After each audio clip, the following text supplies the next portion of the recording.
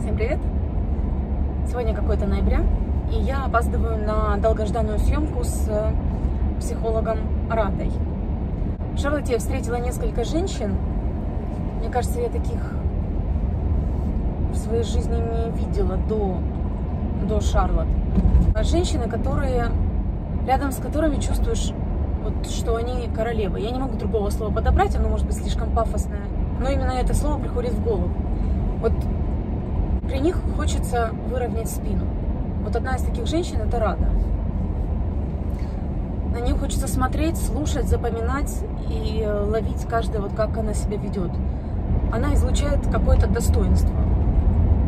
Я не знаю, может быть, сейчас увидите, поймете, о чем я говорю. Не знаю, передастся ли это через телефон.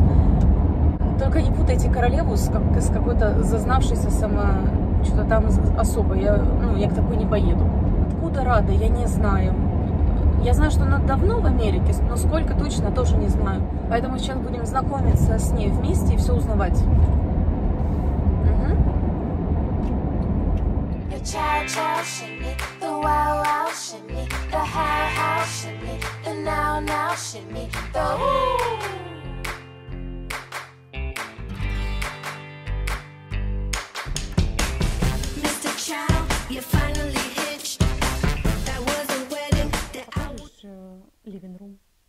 Living room, да, сюда.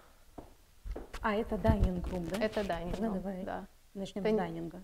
Небольшая а, столовая, барная стойка, а, фотографии, картины, зеркала. Да. Можно зайти с той стороны? Там немножко не убрано, ну да. Да. Вот это моя мечта прям. А вот это чисто такое американское. Я больше нигде не видела такого. Вот, чтобы вот есть всегда такой какой-то как столик, да, вот с фотографиями. Да, семейные фотографии. Так, а здесь у нас living room. Тут Да, нас здесь гостиная. штатив у нас уже готов. И тут мы будем все делать. Да, будем все делать, все, что нужно. Начнем? Сделаем, да. Давай. Давай начнем сначала, а, потому что, в принципе, я толком не знаю про тебя ничего, кроме того, что ты рада, я даже не знаю, откуда ты приехала. Расскажешь, откуда, когда Мгм. и как, по какой там визе, вот это всё. Я приехала из России. Я россиянка, я с Хабаровска. Да ты что? Да, я с Дальнего Востока. Я родилась и выросла на Дальнем Востоке. А, закончила институт, а, проработала год после института и в конце 90-х а, переехала в Америку. Но до этого я а, в начале 90-х у меня был опыт. а, я поехала на Аляску и училась в high school Да ты на что? Аляске. То как меня- ты училась в high school? а, я в Хабаровске встретила женщину, американку, и она пригласила меня с ней пожить в их семье. Это не был официальный а, обмен студентами, что ли, но она пригласила пож- пожить э, а, у нее дома с ее а, мужем, а, детьми и ходить в школу, как бы так, из дружеских собраний. Я ее очаровала, и она, и это, да, это был такой очень хороший опыт. Я жила в Анкоридже, ходила в американскую школу, а потом вернулась и поступила уже в институт а, в родном городе. отпустили. А, ну, тяжело было, но как-то отпустили, да, не знаю, как-то поверили. Сколько лет тебе было? Мне было 16.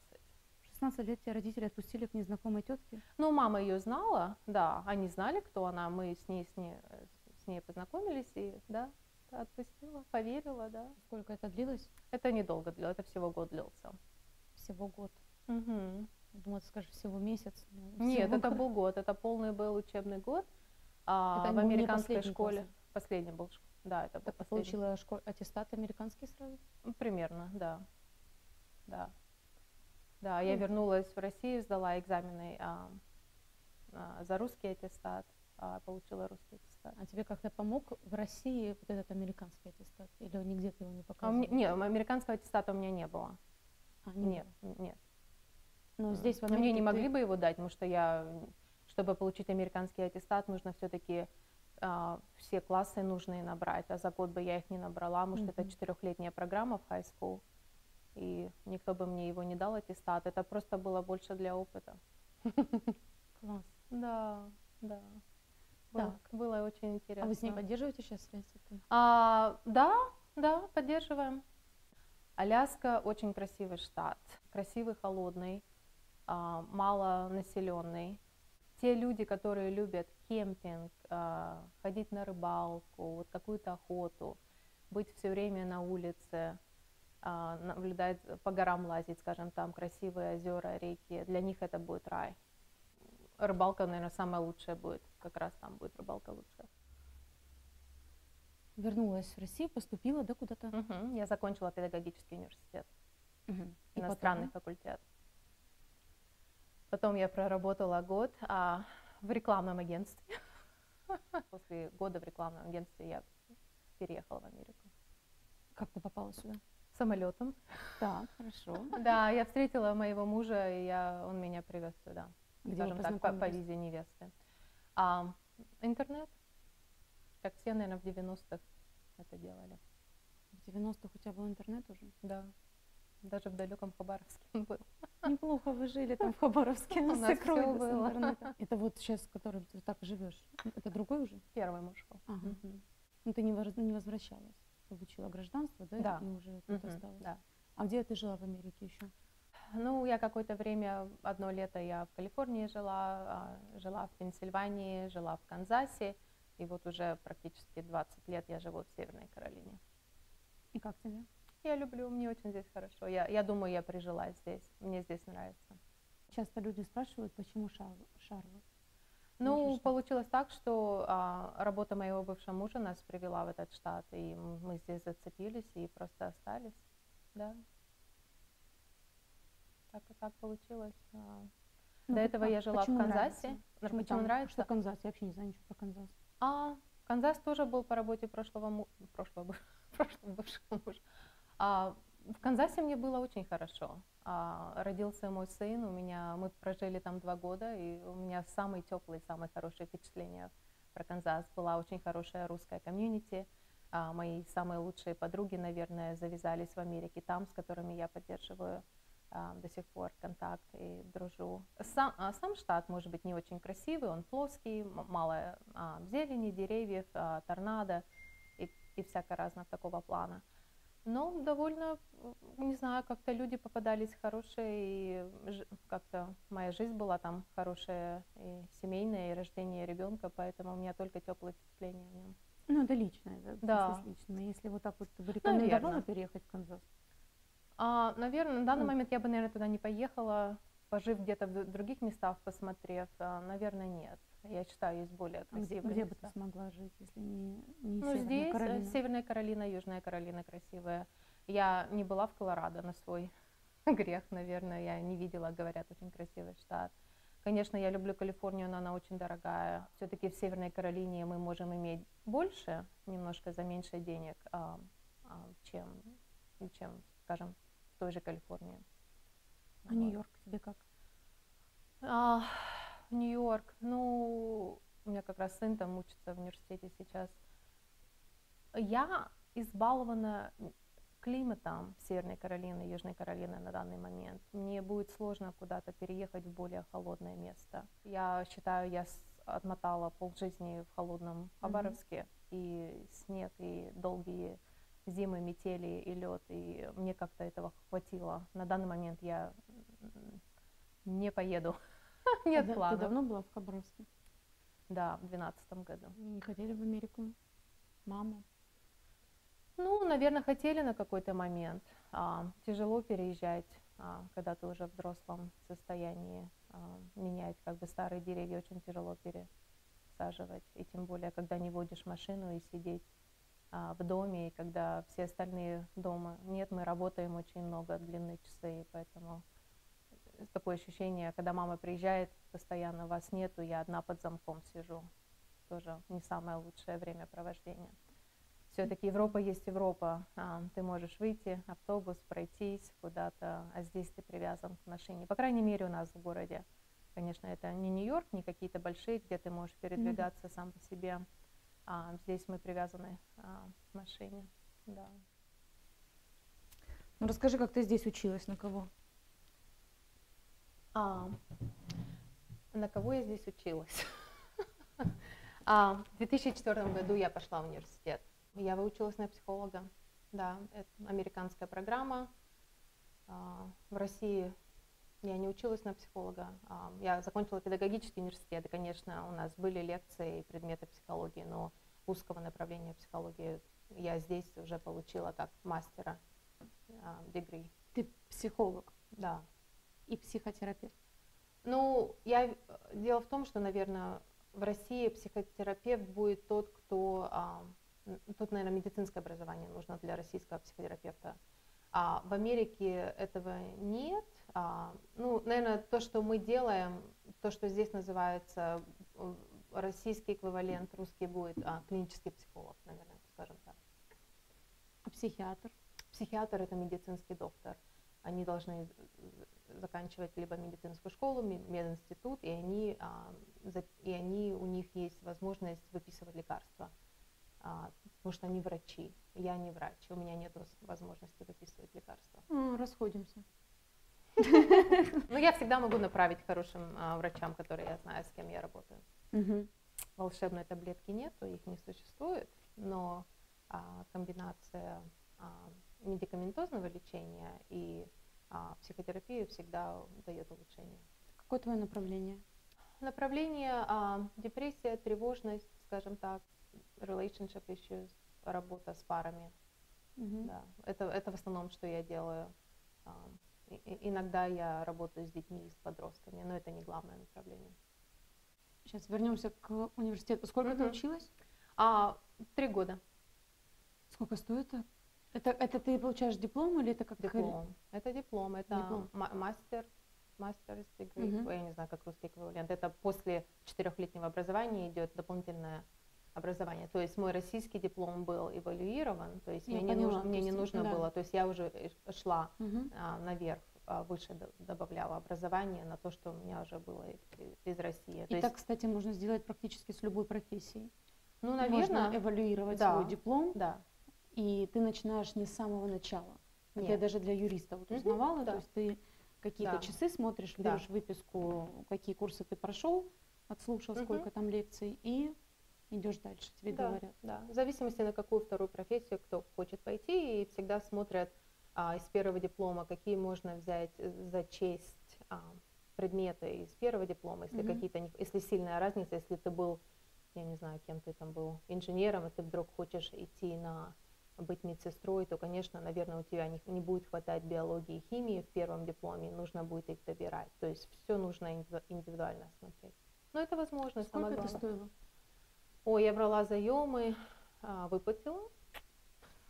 Ну, это Да, крутая. Их да. часто долго выплачивают. Да, я выплатила. А, а я не помню на данный момент. Это не, не Ну, было так. приблизительно А, 10, 50, 100. а не, не, не, 300. Не, не, не, не, да ну нет. А, может быть, в районе 20-25 тысяч я Мгм. заплатила. Да. М, терпимо еще. Да. Но это За было, три года. да, но это было 2004-2006 год, а, седьмой другие год, да. цены. Я думаю, да. Я, я точно не знаю, но я уверена, наверное, цены изменились. Мгм. У тебя частная своя практика, или ты пошла куда-то устроилась на... Да. А, дело в том, что когда заканчиваешь, а, у тебя нет автоматической лицензии на право деятельности. То есть ты работаешь в разных организациях с разными плана людьми и набираешь эти часы очень долгие. А, и работаешь с супервайзером, который тебя ведет, который а, проверяет твою работу, который корректирует твою работу, а, которому ты отвечаешь. И это были очень долгие часы, скажем так. Но это не как волонтер, то есть ты О, нет, получаешь это оплачиваю, это оплачиваю. Конечно, ты работаешь на какую-то организацию, и там есть человек, а, а, который ну, помогает тебе встать на ноги профессионально. А, ты набираешь эти часы, потом ты подаешь эти часы в определенную организацию, которая отвечает за выдачу тебе лицензии на деятельности. И потом, спустя три года, это заняло. Очень много часов нужно набирать. Спустя три года ты получила лицензию? Мгм. Да. Твою первую зарплату, какой старт? Вот после, если после э, университета, сколько платят здесь вот три года? Ну, в А. час, да, я так понимаю? Нет, это а, смотря где работаешь. Такие, а, смотря на какие организации, э, если не работаешь на себя, то оплата очень маленькая. Потому что если э, работаешь в каких-то коммунальных а, центрах наподобие, где приходят не знаю, люди, которые могут не иметь много а, потратить, но им, которая нужна психологическая помощь, а зарплаты, не знаю, они могут быть не больше 40 тысяч в год. Э, Тем не менее, порог бедности у нас э, в Северной Каролине на семью из трех человек порядка 42 тысяч. Ну, здесь я смотрю на бомжей, мне их не жалко. Их тут кормят, их тут, э, ну, я понимаю, что у них там миллион всяких там программ. Я там знаю, что там, если они могут зайти в кафе и сказать, дайте поесть, им дадут поесть. Ну, то есть, а у нас э, бомжи, э, ну, я смотрю на их обувь, они ходят в Nike. Давно не было. Да, но я вижу бомбу, я работаю с бомжами здесь сейчас в больнице, поэтому я вижу каждый местные А у нас они, каждый- наши бомжи, вот так вот натягивают пакеты и вот так вот проволокой обматывают, А. потому что обуви нет, Да. в принципе. Ну, другие И бомжи. не- ну, да. другие бомжи, что у них есть программы какие-то? Да, конечно, есть. Но они, они тоже переполнены, на них тоже не хватает всем финансов, а, финансирования, э, я не знаю, от штата или федеральные финансы. Они тоже, тем более а, из-за ковида сейчас а, эти шелтеры, которые берут бездомных людей, они тоже переполнены. Из-за ковида они даже лишних на данный момент не берут. То есть многие люди не могут попасть в шелтер. То есть они спят э, на улицах в холодные ночи сейчас, в дождливые. Я правильно поняла, что здесь американские бомжи разговаривают с психологом? Но они могут, да. Есть, есть э, места, которые работают за очень маленькие деньги. а, и- и есть такие возможности. Если они, если они смогут туда дойти, дойти или доехать, у них нет средств. Вернее, они собирают средства на улице, стоят, но, как правило, эти средства собираются не на еду, а собираются на наркотики и алкоголь, как правило. То есть э, деньги не давать бомжам? Ну, я бы не рекомендовала. Потому что я, я, я, я этих людей вижу, потом в больницу они приходят, и я, они мне все время говорят, на что эти деньги тратятся. Они, и они, все, а, они все на наркотиках, как правило. Все. А они у нас сидят в основном все вот э, в одном районе, в Аптауне. Ага, ну, как правило, да. Вот они там под мостом. А под мостом есть еще городок палаточный, Палаточный, рядом. да. недалеко от Аптауна, немножко к северу есть ну, палаточный это все равно городок. там в центре Да, в считать, центре если города. в центре. Мгм. И они вот там вот все тусуются. Ну да, наверное, там. Может, еще где, я не знаю. Но там большое скопление, да. Там, Ну. видимо, такая ко- коммуна такая, Мгм. да. Они поддерживают, видимо, как-то себя. Ну, им тоже тяжело. Они не моются, они очень плохо пахнут, скажем, когда они попадают в больницу, потому что они- у них нет возможности горячего душа. В Америке а, многое все делается в кредит, ты же знаешь. Да. Дома, аренда квартиры или ипотека, многое в кредит. А, зависит многое на то, что ты должен это каждый месяц как-то выплачивать, чтобы у тебя была крыша над головой. Если человек теряет а, работу, у него нет дохода, он теряет дом. А, много таких людей, которые становятся, выходят на улицу, у них просто нет заработка дохода. То есть это один вариант. Такой есть, к сожалению, очень страшно.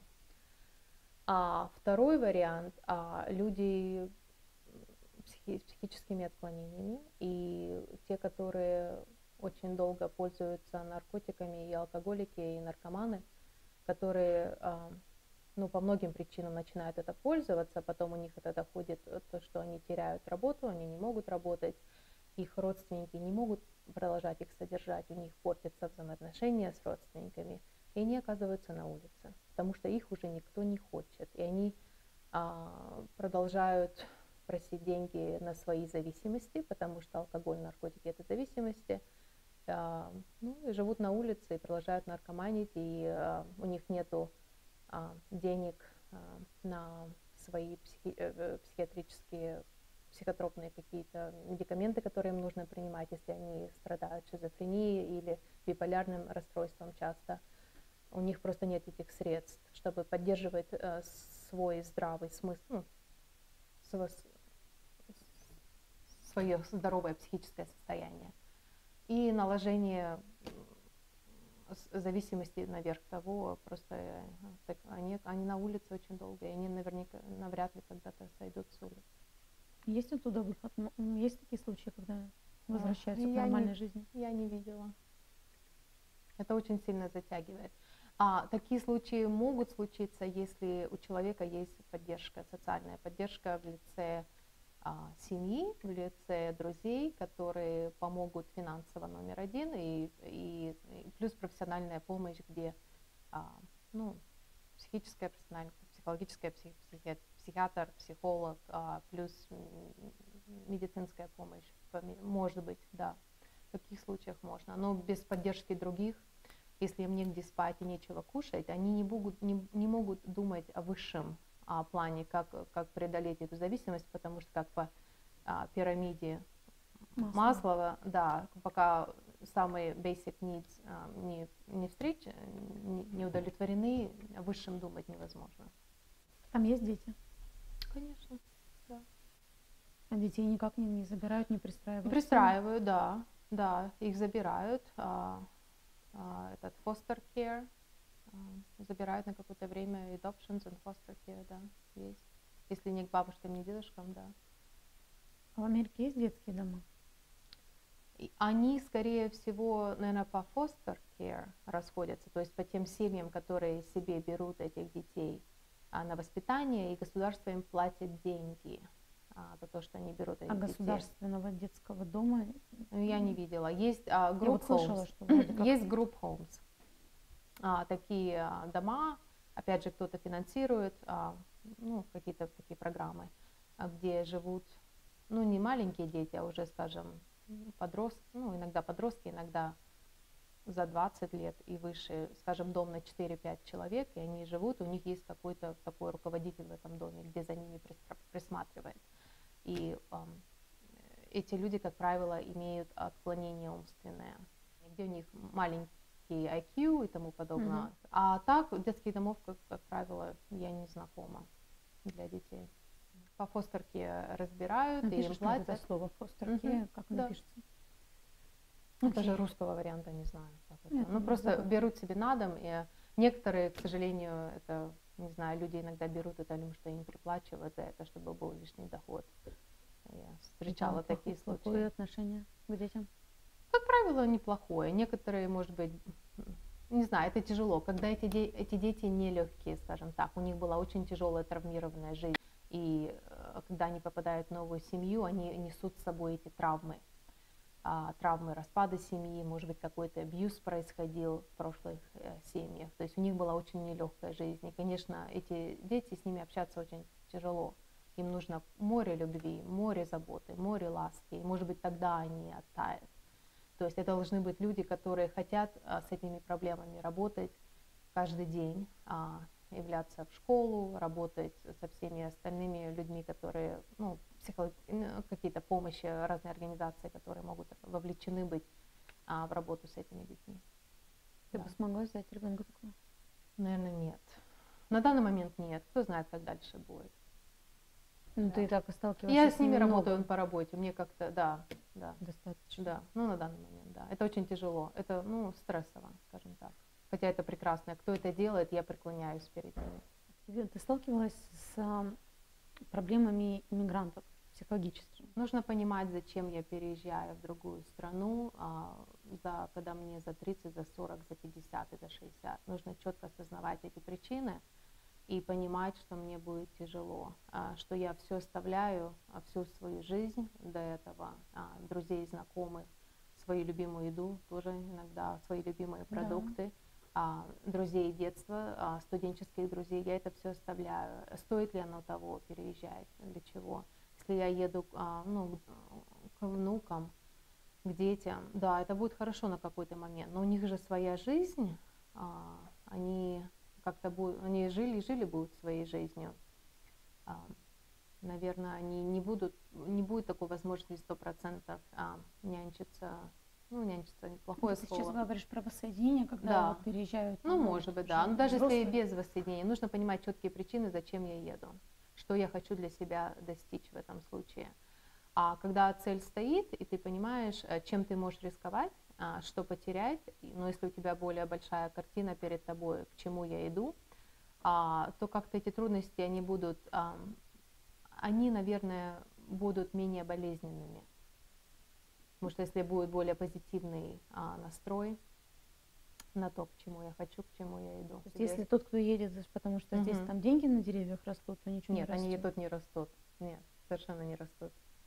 Да, и кто так думает, они ошибаются очень. Люди работают очень тяжело, а, много часов в неделю, чтобы а, что-то более-менее для себя иметь. Но это разница с нашими странами в том, что это здесь вознаграждается. Да, оплачивается. Да. Да. Давай перейдем к ценам. Окей. Сколько стоит у тебя сеанс? А, 120 долларов в час. Ну, 50-55 минут. Психолог а, вообще популярная же в Америке у нас. Да, здесь профессия. популярно. Да, здесь популярно. А, Город Шарлотт, скажем так, перенасыщен а, профессионалами в этой области. Очень много. Профессионалами или больными? Ну, если Или говорить о, наль- о количестве хватает? психологов или ну, клинических психологов и психиатров, психиатров немножко меньше, их сложнее, их меньше, как врачей. А вообще очень много а, профессионалов в этой области. То есть можно выбрать на вкус и цвет в прямом и переносном смысле, а, есть выбор большой. А больных у нас много? А, я считаю, что да. Ну как больных? А О чем больных? Есть, ну не все, не, не все не, не нужно все называть болезнью. Есть какие-то временные трудности, где человеку нужно просто помочь разобраться с этим, и это нормально. А, э, Некоторые, конечно, пишут на Facebook, решите мою проблему, и тогда все 200 человек этой группы начинают это решать. И, и, наверное, это помогает в какой-то области, да, в какой-то момент. А, а иногда э, некоторые а, идут все-таки к профессионалу. Вот, но, э, не страшно по улице ходить в какие-то вот э, такой вот, э, видишь ли ты своих там Да, на улице? Да. Вот ты ж да. разговаривала с одним психологом, она говорит, вы просто не понимаете, сколько вот наших пациентов ходит по улице. да. Я вот так это запомнила. Ну, в Америке мы ходим меньше, но Да. если я проезжаю в какой-то части города, или я избегаю проезжать в какой-то части города, я это все вижу. Поэтому я туда, наверное, не суюсь лишний раз. Есть где-то а, районы Шарлотта, где больше Да, запад, восток? да. Запад, восток и, наверное, аптаун очень много. Там И к северу от, а, от центра города. Не хотела бы там жить. О, нет, ни в коем случае. Нет. Нет, надеюсь, жизнь не заставит туда, там попасть, там поселиться. Да, не самые лучшие А районы. ты знаешь кого-нибудь, кто там живет? Я лично нет. Ну, из, из наших. Из русскоговорящего? Н- Нет, я не знаю. А, Я же была юристом, Мгм. знаешь, нет? Да. И одна из причин, почему я это все дело бросила, потому что мне надоело решать чужие проблемы. И я находилась, я поняла, что я нахожусь в постоянном стрессе в каком-то. Хотя я даже это не поняла до того момента, пока я не вышла из этого всего. Мгм. Как ты с этим живешь, как ты с этим справляешься? Ну, к тебе же не приходят счастливые люди. Нет, это очень тяжело. А в личной практике это легче, но я еще работаю в больнице, а в больнице намного тяжелее. На, моих, на мои выходные дни после больницы я восстанавливаюсь. У меня восстановительные периоды, как, э, я вот такую реабилитацию себе каждый раз провожу. У меня как-то меньше сил на что-то делать, потому что я выжатая, как лимон, морально выжатая, психологически выжатая. А, а потом снова туда ныряю. Потом выныряю, потом отсыпаюсь, от, не знаю, как-то пытаюсь, я не хочу сказать отъедаюсь, но как-то пытаюсь себя реабилитировать. И да, тяжело, очень тяжело. Здесь важно, ну, по-английски это называется self-care, то есть забота о себе какая-то между... что- Если ты не будешь а, заботиться о себе, ты не можешь помочь другим, правильно? То есть ты должен начать с себя. Это как в самолете начи- одеваем маску на себя, да, для дыхания, а потом для своих детей, кто рядом сидит, иначе это Мгм. невозможно. Так и здесь. Как бы наполнять свой сосуд позитивом и здоровьем, чтобы потом было из чего из этого сосуда дать ам, людям, которые, которым очень плохо. Да ну. Нет. Ну, это, это тяжело. Но когда видишь результат, а, то это как-то, ну, не знаю, дает тебе надежду, что ты, наверное, ну, тоже, когда видишь, что ты помогаешь людям, что им, им лучше, что они э, какие-то решают свои проблемы, а- они спокойнее. У многих людей нет поддержки семьи, друзей. Вот им не с кем поговорить. И я не, я не провожу беседы а, о погоде. Да? Но иногда человеку даже ну, о глупостях не с кем поговорить. И даже когда кто-то их выслушает о какой-то глупости, это может быть и, может и имеет терапевтический эффект. А, были такие случаи, когда люди сходятся обратно, приходят с проблемами и возвращаются друг к другу? Да, бывают, бывают и расходятся. А цель терапии не в том, чтобы не сделать, чтобы пара не разошлась. Иногда в течение терапии они понимают, что мы не созданы для друг друга, что нам лучше разойтись. То есть цель привести их самой- самих к тому решению, что будет лучше для них. Нет, это ерунда. Нет, зачем насильно? Нет. Нас- Насильно мил не будешь, и, ну и ты счастлив не будешь, и никто не будет счастлив. То есть я никогда никому не могу сказать, что им делать, потому что никто меня не послушает, даже если мое есть мнение, потому что все, все сделают так, как они считают нужным все равно. Моя цель привести их а, к тому решению, которое будет правильным для них, чтобы они сами к этому решению пришли. Так, что я спрашивала? Я уже не помню. А, про личностные расстройства. То есть личностные расстройства, а, они очень тяжелые, с ними работать очень тяжело. От них нету таблетки, которую можно дать. То есть, Личностное расстройство это что такое? ну, это, это в том, что я все это учила на английском языке. Ну, так я, говори, как, как я, есть. мне сложно.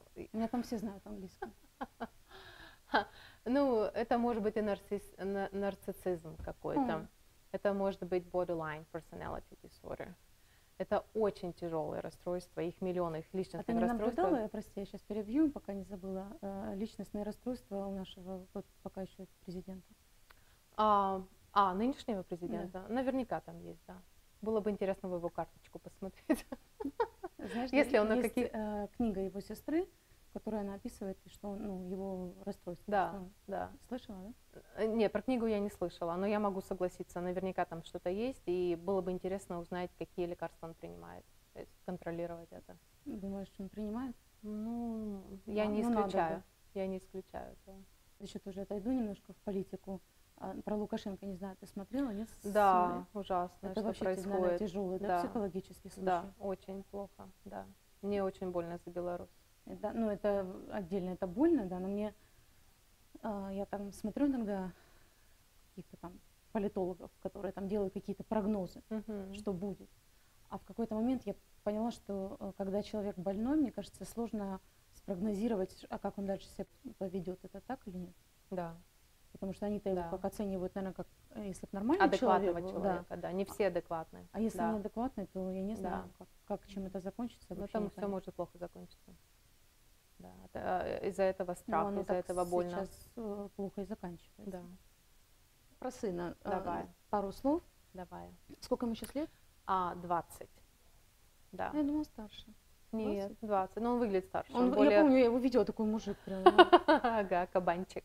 А, рослый, да. Да. А, спортсмен, а, занимается спортом, любит а, все эти физические нагрузки. Да, он высокий, крупный мальчик, поэтому... вот В России он был последний раз, ему было сколько лет? 12 лет. Вы ему делали российский паспорт? Нет. Почему? А, мой муж был против. Нужно согласие двух родителей. А, А а, чем муж аргу- аргументировал? Ну, наверное, муж американец был, боялся, наверное, что вывезу, похитить. Не знаю, трудно понять. Тоже, наверное, неадекватный был в этом плане, кто его знает. А, так как нужно было согласие двоих Ну, родителей. я его понимаю, Да. я, я твоего мужа понимаю. Да, ну, не сделали. А, в принципе, наверное, в взрослом возрасте человек может сам решить и подать на гражданство в любое время. Он же, Если это так как нужно. ты гражданка, Да, то я он гражданка. может, имеет право. Наверное, да. Я не, не смотрела Ну, не было- последний- последние законы. Ну, как-то надобности не было. За Потом я 20 все лет. равно, а, я переживаю про военную службу, не знаю, правильные переживания или нет. Мне бы не Правильно. хотелось этого. Конечно, правильно. а, вот, лишние переживания тоже. Он по-русски, по-русски говорит? А, нет, с трудом, плохо, чуть-чуть. Он знает, когда я ругаюсь, э, ну, ос- основное все знает, может минимально ответить, а, а так нет. Все по-английски. Нет у тебя сожаления, что вы не сохранила ему русский язык? Да, есть, и у него есть. Он мне сейчас говорит, что, ну, что жалеет, что не выучил. На тот момент, конечно, он не хотел. Ну как, как-то, ну, дома по-английски, школа по-английски. А, я когда одна русскоговорящая дома, Но он понимает. он многое понимает, многое понимает. Он знает, может понять, о чем идет речь. Да, оно прекрасно, Английский Марина хорошо разговаривает. Пока. Ей сложнее на английском еще, М. все еще. И она как бы, если детей она выбирает, то есть кто говорит, она мне подходит, это русский ребенок. Это русский. Она, ну, сейчас она хоть понимает, что русский, английский. А раньше Ага. она просто говорила, это гости, Да, потому что гости к нам Да. приходят только русские. И она считала, что гости это все, кто говорят по-русски, это гости. А, А все американцы это хай. Потому что они хай говорят. А. Это говорят, это хай, это гости или это хай. Вот, я А. не сразу поняла, когда поняла, мне так тоже было весело. да. К тебе обращаются наши э, иммигранты? За помощью? Да. да. Какие самые частые, может проблемы? А я бы не сказала, что они чисто э, по иммигрантским вопросам обращаются, как п- ассимиляция в жизни, к жизни нынешней. Таких вопросов я не получаю. А что получаешь? Более какие-то личностные моменты. То, что человек сам проходит через какие-то трудности, независимо от того, где они находятся, в какой стране. Тут, наверное, если трудности вместе не, ну, если не выживешь через в этих трудностях вместе, наверное, пары будут э, э, распадаться. Или наоборот укрепит, укрепится брак, когда проходишь. Это как захочешь узнать, хороший человек для тебя подходит или нет, пок- поклей с ним обои, да? Мгм. Вот то же самое, наверное, можно сравнить, наверное, когда переезжаешь в новую страну без языка, не знаешь правила, где, чего, когда, и сложно, и быт тяжелый может быть, а, а, смотря где, чего, и если нет денег, то если или пройдешь, или трудности, или укрепляться в этом отношении, или они распадутся, да. Потому что не все выдерживают, потому что э, кому-то это легче, кто-то начинает в себе замыкаться, кто-то уходить из дома, кто-то к бутылке, а, может пристраститься, кто-то может любовника, любовницу завести, чтобы как-то легче ну, помогать себе это, пережить трудные моменты. Все же переживают трудные моменты по-разному, как бы отвлекаются разными способами. Я по-прежнему предпочитаю русское телевидение. Да. Я, Да? см- я смотрю больше русских фильмов, русские передачи, а русскую музыку я все равно больше слушаю. Ты бы смогла вернуться в Россию? Нас- навсегда Мгм. А, ой, не знаю. Очень хороший провокационный вопрос. Да, вот это вот вопрос на, на 100, на 100 долларов.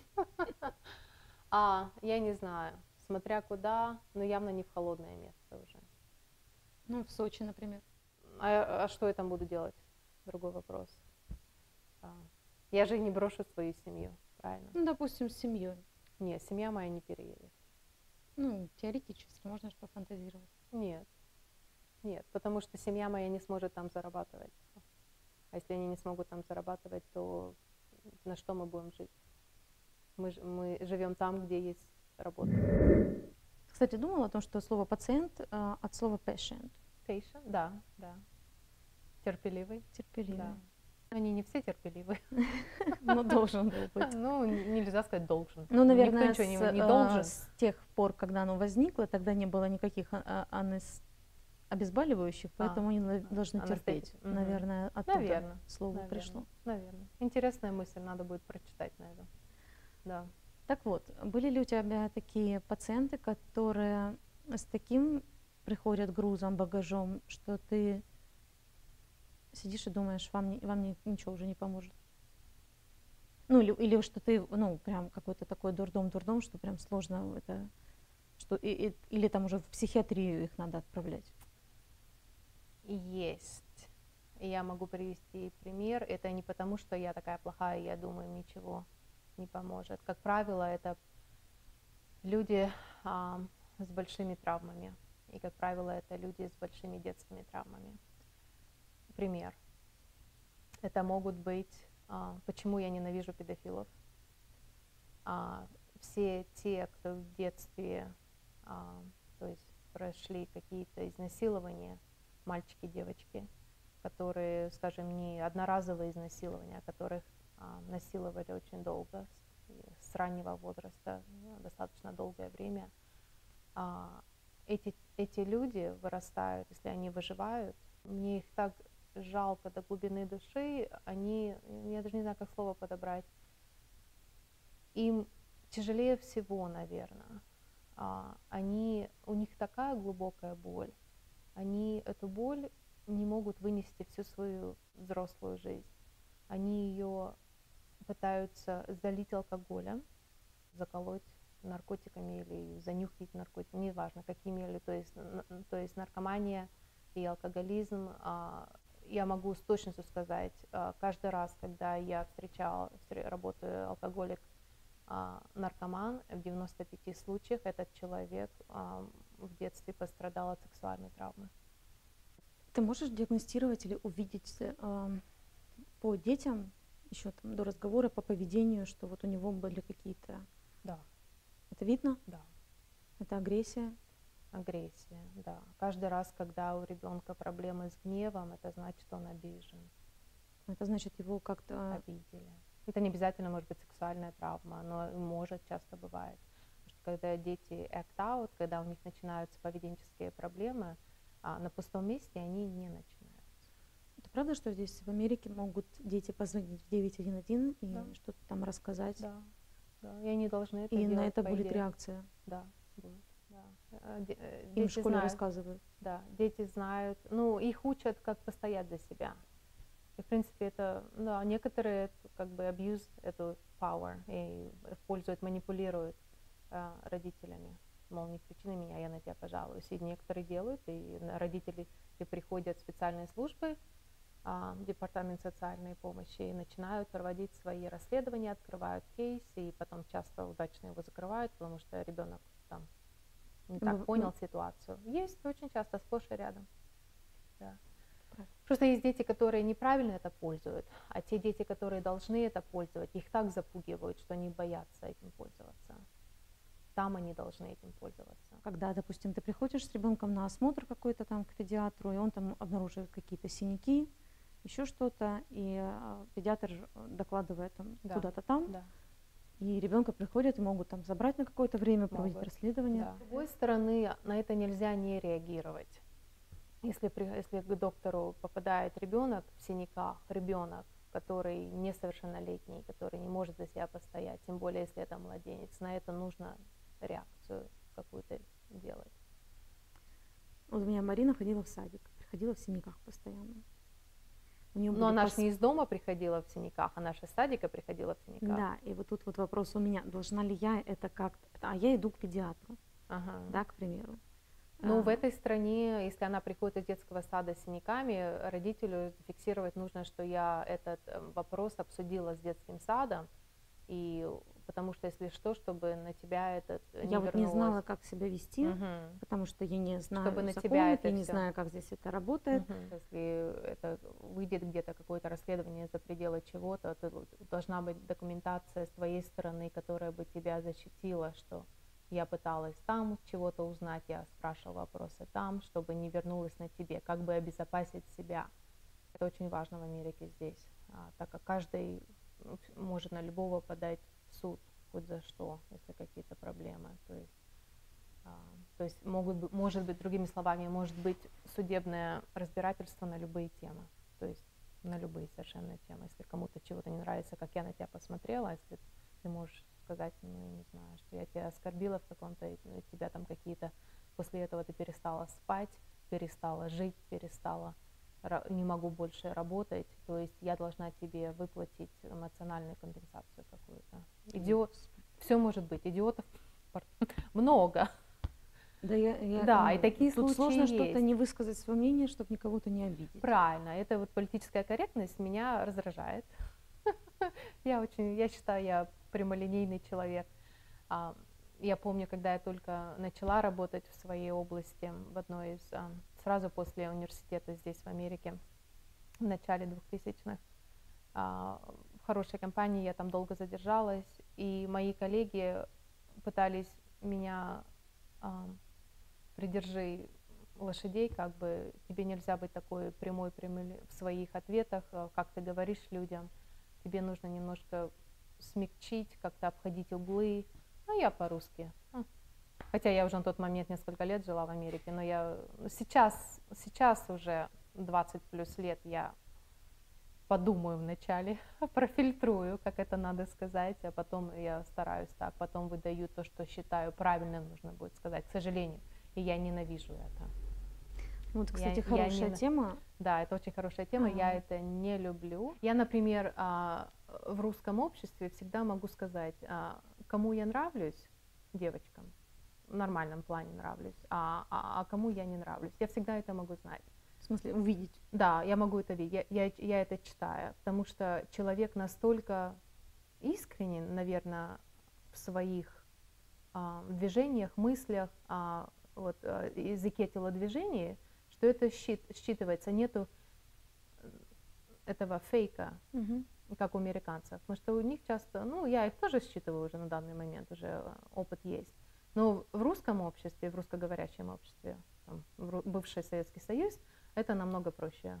Э, Всеми любим не будешь, и э, не у всех такой хороший вкус. Вот именно. Не, не может быть у всех быть такой хороший вкус. Ну, и шутка, да, но тем не менее. Мне в этом плане тоже мне сложно перестроиться. Я-то и больше там-то провела времени. Даже вот по клиентам. Понятно, что я-то давайте вот отодвинем вот эти все там hello, how are you, там какой там Small день, talk, вот это small вот small talk, да. Мгм. А, Для меня это, ну, Трата во-первых, времени. английский еще, знаешь, то есть это определенный барьер. Да. И во-вторых, э, давайте ближе к делу. Вот Мгм. хочется, да, мне там вот по сути. хочется, да, Да. по сути. да. А, но когда мне, ну, с другой стороны, когда это отзеркаливает, и мне пишут наши, наши, да, Мгм. вот клиенты, я вижу, что они иногда настолько сразу к делу, что у меня какое-то возникает, да, такое ощущение, что как будто я, Ты тебя используешь. что меня вот как вот наняли, и я уже вот прям обязана, знаешь, то есть Мгм. вот я так люблю, когда мне пишут американцы, они, вот, знаешь, что это вот прям Ну, невежливые, они более вежливые. вежливые. Какой ты меня видишь? А мы на камеру? Да, выключить. Не, как хочешь. Смотри, что ты скажешь. Если не А. понравится, я вырежу. А, я вижу тебя доброй, а, такой пушистой, а, очень заботливой, а, вежливой, человека, человеком, с которым приятно общаться, а, который в хорошем настроении. Я уверена, у тебя есть свои моменты, где ты и нервничаешь, и злишься, но то общение, которое я с тобой всегда имела, оно всегда было позитивным, понимаешь? Я, я, ты, я никогда в тебе не читала про себя, что ты меня осуждаешь в чем-то. Для меня это очень важно. Нет такого в тебе. А, Есть люди, которые, а, скажем так, ты не пафосная, если это makes sense. Ну, вообще Есть- не пафосно. Да, ты нет. И мне это очень нравится. А, Я люблю таких людей. Надеюсь, я к ним не, надеюсь, я к ним не отношусь. Будет интересно фидбэк получить. А Есть я люди- вначале уже записала про тебя, что я думаю. да, Да. хорошо. Да. Моя работа научила мне, ну, наверное, научила меня разбираться в людях. У меня есть издержки моей работы. Я мне сложнее, наверное, сходиться с людьми на данный момент. Я их вижу насквозь лучше. И я уже не трачу время на людей, которые я вижу, они не моего плана люди. Ну, это круто. Я ее обожаю. Я так довольна его выбором. а, мне Она она там очень сидит на заднем плане. Я Да. вам не буду ее показывать. Очень хорошая девочка. А, Она, я считаю, у нас с ней очень много общего, не внешне, а внутренне. Она как-то какая моя мини-ми за мной, а, очень тоже одежда та же, вкусы, а, стиль, еда. Сделай мне то, что ты кушаешь, может, мне нравится, что ты кушаешь. Как-то вот с ней легко, она очень приятная домашняя девочка. Я очень довольна с э, выбором сына. Мне кажется, в его возрасте я не делала таких хороших выборов. Слушай, ну они у тебя так долго держатся. Такие вообще пушистые, красивые. Ну что, мы поехали. Счастливо. Пока-пока. Пока. Тут так, ой, солнышко вышло, такая прям. А, я знаешь, что не сделала? Нам нужна фотография с тобой. Здесь немножко похоже на Нью-Йорк. Нет, здесь Нью-Йорк, а под, под Лондон. Это А, точно, а, Лондон. под да. Англию построен этот neighborhood. Да, что-то я это... Вот это вот мне нравится. Можно я тут по шебуршу пойду?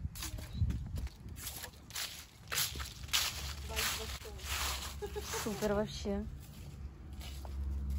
Хочется прям так вот фоткать. Мгм. Красота? Красота. Мгм. Еду уже. Все, Да. пока-пока.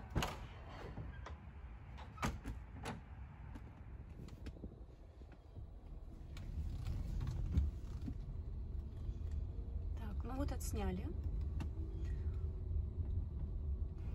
Мне лично было очень интересно. Не знаю, как вам, пишите. Если есть вопросы, либо я что-то не спросила, э, что, естественно, то спрашивайте, задавайте. Если что, мы можем доснять коротенькую вторую часть и ответить на все вопросы, которые были упущены. Ну а так, спасибо, что смотрели.